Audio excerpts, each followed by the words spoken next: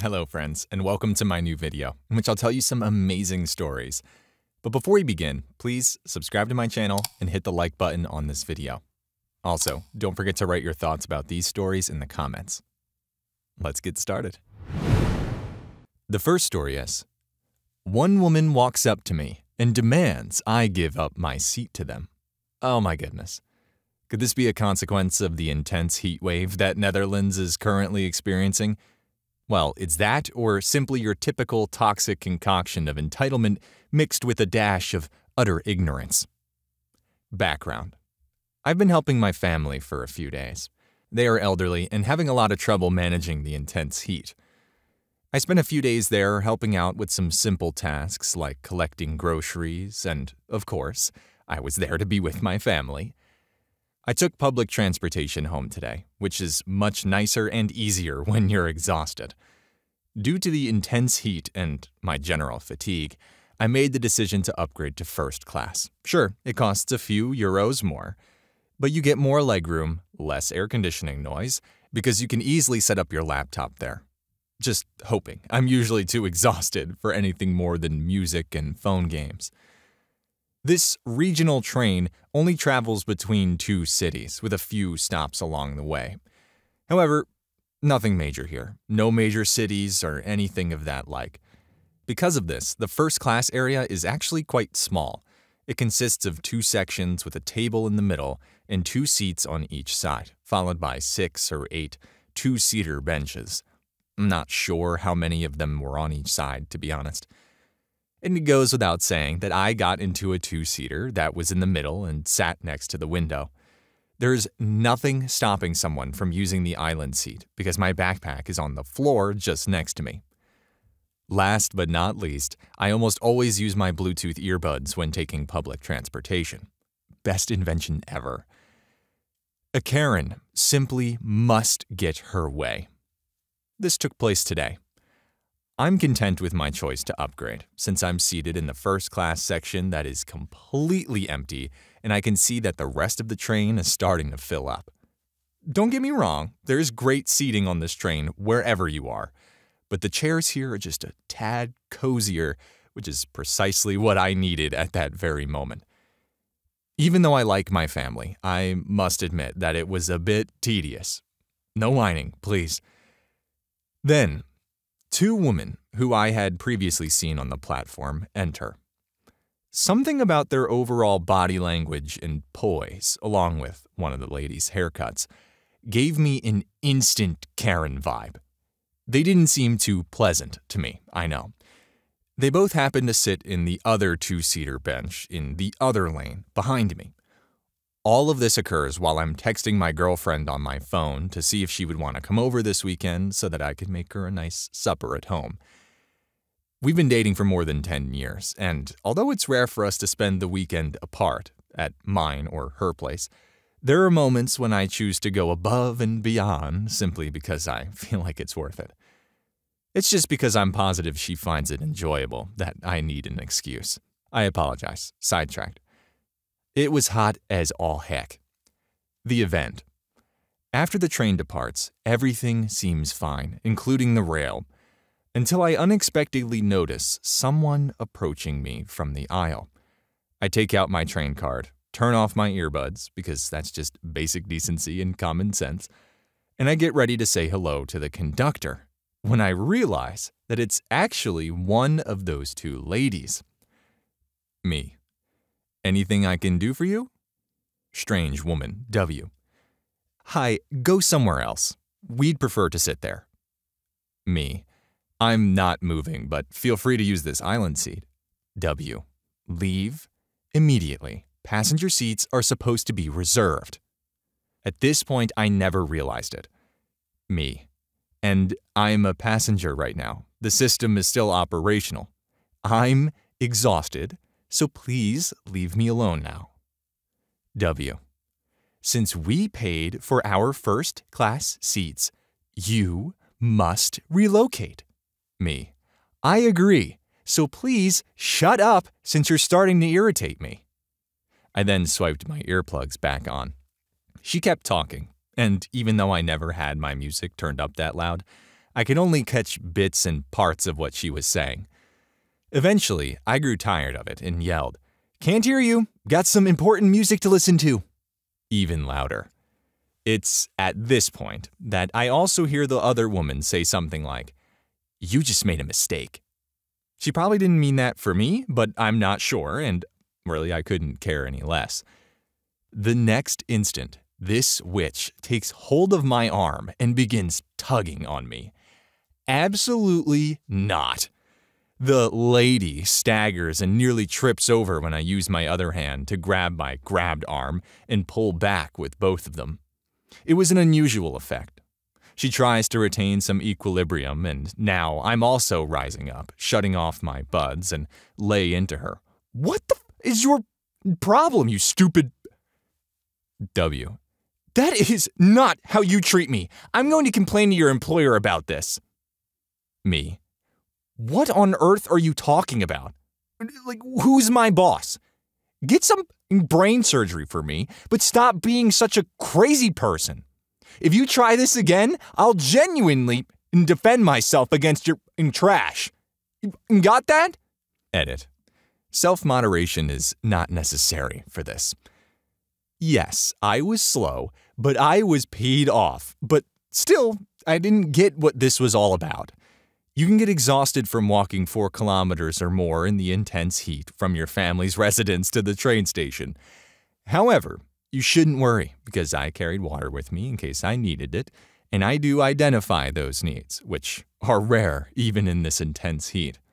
You cannot do that to a customer, the woman yells back at me, even making a move to smack me. Oh my god, no. You see, I can't have that kind of thing happen to me since I wear glasses. They're strong, but I will have a big issue if they break and fall to the ground. I'm sure you can imagine just how tired I get of this. So when I realized what was going on, I used one of the very few strategies my girlfriend was ready to teach me how to protect yourself from this nonsense. Thus, I did. Her hand was approaching my face, so I grabbed it with both hands and gave it a strong twist. Not caring an F helped, but I was still really angry, and it had an odd result. The other woman abruptly stated, I really don't think he works for this train company. Although I'm not sure if I noticed a smirk there, I immediately shoved Karen away from me. Me. Now leave me the F alone! And then I let go. Reminder to self treat your significant other really well this weekend. She sighs, mutters, and shoots me glares before returning to her seat. I say, Thank you, with a clear hint of sarcasm. F that. It was much easier to listen in with some high quality, tiny mics in your headphones than to switch back on my music. It turns out that she will complain to the train company about me. How dare I! Some people's nerve, etc. Me. You know, it's more than enough to get you ejected off the train over here if you assault a member of the staff. This is real. Thus, based on your reasoning, I assume you'll be leaving in a short while. Things remained silent because apparently the thought of having to wait 30 minutes for the next train was too much to handle. Oh, the pleasures of first world problems, Karen. After around 20 minutes, the conductor enters and requests to look over our tickets. He approaches the women after I meet him and give him mine. And sure enough, she says, Your coworker is so rude, he even assaulted me. Which colleague? The conductor asks. I'm the sole employee next to the driver right now. He sits down next to me on the bench in the opposite part a short while later. Around this time, I heard the bleep of WhatsApp so I grabbed my phone to see who it was from. My girlfriend, who graciously accepted my request and commented on how good I was with words. Are you doing anything special today? I inquire. I've come to accept that I can be petulant when the answer is no. Thus, I make the decision to call her. I never make or take calls when using public transportation. But because it's just the three of us, the conductor, these hags, and me, I'm not breaking any laws, so. Hey, sweetie, I apologize for disturbing you, but I had to express my gratitude for teaching me how to do that move. My girlfriend then inquires as to what's going on. How are you? Thanks to you, there's no need to worry. After thinking I worked here, a bee attempted to attack me when I refused to give up my seat. She's even attempted to slap me, but that's totally backfired on that insane bee. After a little period of silence, my girlfriend asks if she's still around. Then, did I use both hands or only one? No, both hands. No, both hands, but don't worry. Even if we tried, none of us could lie our way out of this since they have cameras here. However, I don't really give a dang about such garbage. I just wanted to express my gratitude for teaching me this. I'm aware of how serious you take all of that, along with the fact that I'm an outsider. I sincerely appreciate you, sweetie. Or, at minimum, something almost so. The woman then goes out of the train, giving me an a hole snipe as she saunters right past me, which surprised me at first because I didn't know we had already stopped at the next location. Wait, this isn't our stop yet, the other woman cried after she hurried up after her. And that was the last time I saw them. When we started moving again, the conductor asked, Mind telling me what happened back there? I tell him the same story about how the woman asked me to give up my seat, but I refused. And then when she tried to hit me, I grabbed her hand and twisted her arm in the right direction, which made her give up when I told her that I didn't work here. The conductor grinned broadly as he looked at me, but he never bothered to express his feelings to me, since, had he done what I did, he would have been fired. I'm not exaggerating or kidding. There are a lot of ridiculous rules in the Netherlands. Instead, the constructor instructed me to leave at the next and last stop since he obviously felt terrible for the poor woman. You guys know our little secret my, the conductor's, and now yours. Correction. As of this writing, we have a Friday date, even though we don't live together. Of course, nothing's set in stone, but I'm thinking of making her a stew or a chili with fresh tomatoes. And if she doesn't feel like either, I might make her some homemade lasagna. However, that will have to wait until Saturday, because I don't make lasagna very often, and it takes me a long time to get the sauce just the way we like it.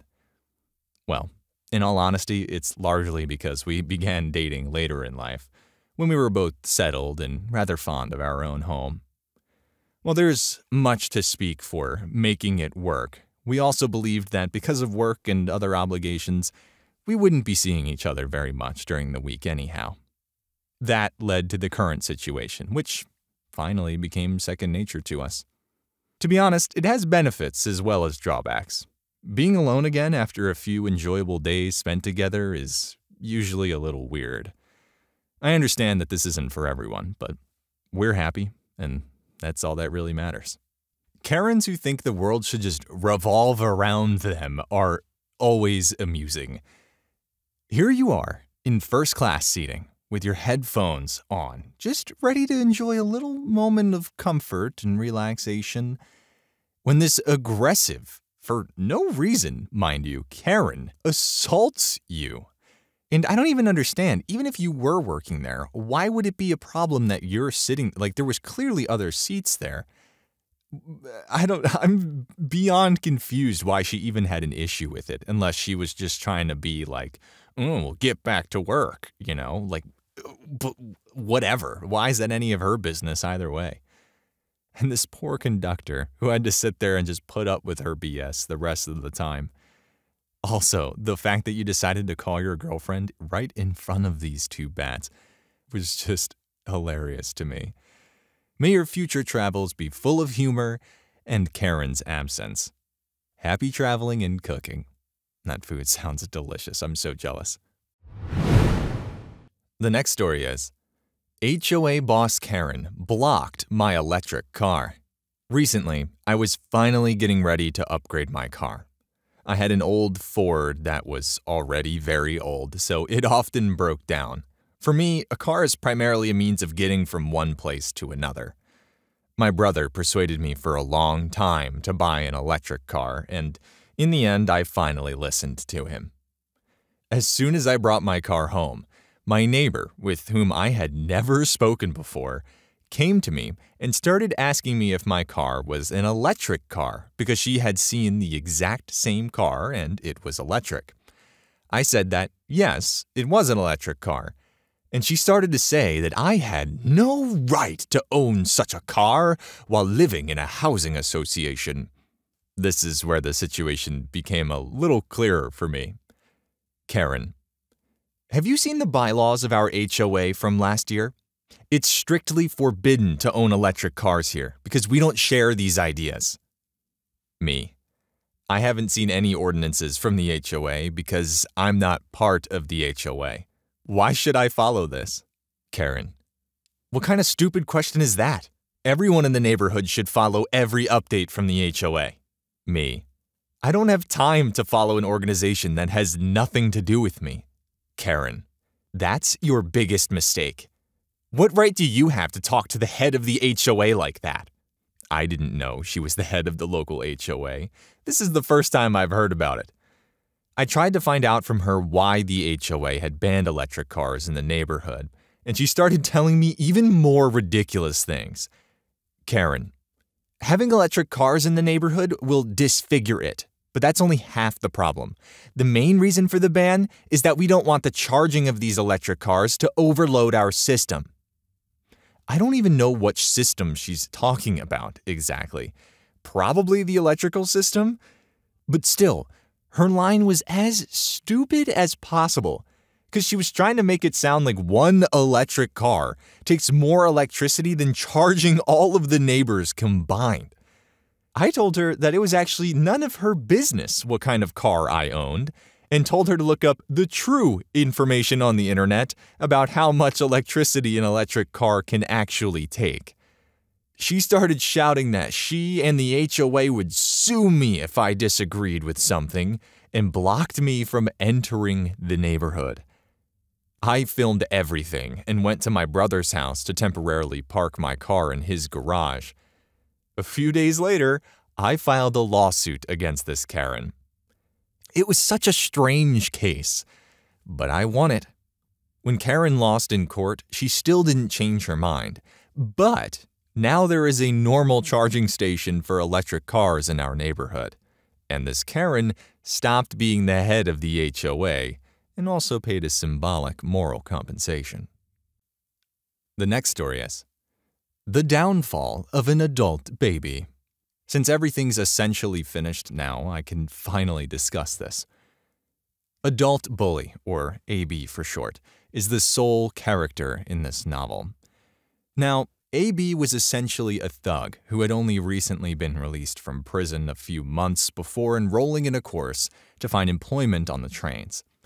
I won't hold his incarceration against him now that I know he made a mistake in the past and was trying to start over with a decent life, I believe. He did, however, overlook one important aspect of this training. He might have to think for himself. He had taken a course like this in prison, so even though he was in college, he found it difficult when the professor didn't walk him through it. I didn't require it. I eventually became proficient in the subject matter to the point that I could assist other students. He didn't like that. What, therefore, can this huge man do to ensure that I understand my place? He attempted to threaten me verbally at first. Not even an eyebrow was raised by me. I'm definitely not easily phased, having worked in retail for 12 years and had threats, robberies, and attacks from various idiots. His ability to communicate verbally is therefore lacking. If he gives the impression that he's about to injure me, maybe I'll wince. After three attempts, all that was received was a tight fist and a long, blank stare. Thus, it's not a good idea because it could cause harm. How about ambushing me covertly and causing me pain?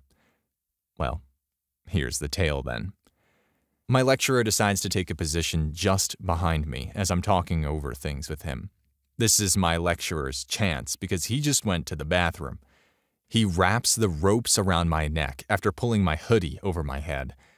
I give him a good minute to stop strangling me before I elbowed him in the stomach in retaliation. I'm going to wind him down by slamming his face against the table as a precaution. He cried, in return, saying it was cruel that I had punched him back when he was attempting to strangle me to death. I informed him right then and there that I would take care of him permanently, since I knew he was a whining little bee. I ensured that his parole officer, the job center, the police, and the lecturer were all informed. He attempted to argue that it was self defense since I had attacked him, but he was receiving little support, and his reputation in the class was awful. His parole officer intervened just in time to prevent him from receiving a community order, despite his other defense that it was a joke that no one understood, being used to minimize his charges. Prior to him choosing to attack him as well, he was scheduled to speak with my parole officer. Because of the parole officer's assault and his violent past, the investigating officer in my case, who was going to give him a pass, ended up charging him with a more serious offense. He spent 14 years in prison, and now, six months into his parole, he might be facing an additional 20 years behind bars because he wanted to establish his tough guy status. Good riddance, in my opinion. He was a gangster trying to prove that he was Charlie Bronson, and in the end, all he proved was that he was a little bee. He believed that, in light of everything, he had the right to criticize me, and that I had no right to defend myself. I can't wait to watch him in court and make fun of him while he stumbles for however long it takes. The worst part is that he missed the qualifying exam, which was the entire purpose of the course, due to the time of his arrest. As a result, he'll have to pay for the entire experience again, which could easily cost him 2,000 pounds. It'd be awful to be him. Yeah, there's a lot of people who love to just puff out their chest, like this guy, where they're like on the inside, they're just so insecure with their own self, their own image, their ego is massive, generally speaking, and the only way they can feel good about themselves is to exert some sort of oppression or manipulative force against other people around them to make them feel bad. It's like, I mean, I don't, I don't know. I don't get the thought process, but hey, there's weak people like that around, and hopefully you, OP, nor any of our other listeners, or anyone else for that matter, only has to deal with a minimal amount of that kind of person going forward because it's really just never a good experience. Thanks for watching. Just a reminder subscribe, like, and comment. See you soon.